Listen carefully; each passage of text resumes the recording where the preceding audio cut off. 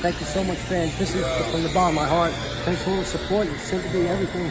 And we're not going away for a long time. This is a movement that's fucking staying. Thank you. Love you all.